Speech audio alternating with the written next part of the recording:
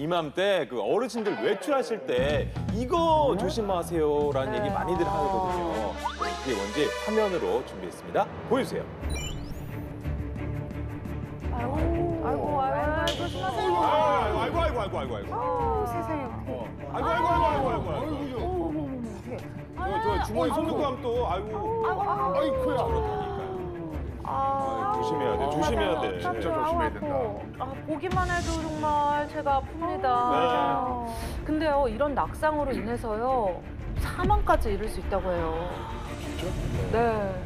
그래서 준비한 오늘의 주제입니다. 보여주세요.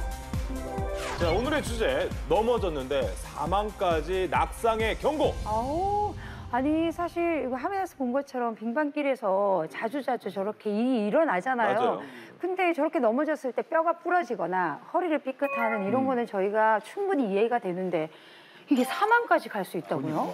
네, 우리나라 통계에 따르면 한 해 낙상으로 사망하는 65세 이상 어르신이 83만여 명이나 된다. 83만 명? 네. 그래서 교통사고에 의해 그러니까 교통사고에 이어서 노인 사고 사망 원인 2위를 차지하고 있는데 어떻게 넘어졌는데 사망할 수도 있지 이렇게 생각하잖아요. 근데 왜 낙상이 무섭냐면은 합병증 때문에 그렇습니다. 그러니까 일단 넘어지면서 뇌 손상을 입을 수도 있지만 예. 그거보다 더 큰 거는 골절이죠. 특히 이제 어르신들은 척추의 압박 골절이라든지 고관절 골절이 생기게 되는데 음. 그런 경우에는 걷지를 못하니까 오랜 기간 누워 있어야 되잖아요.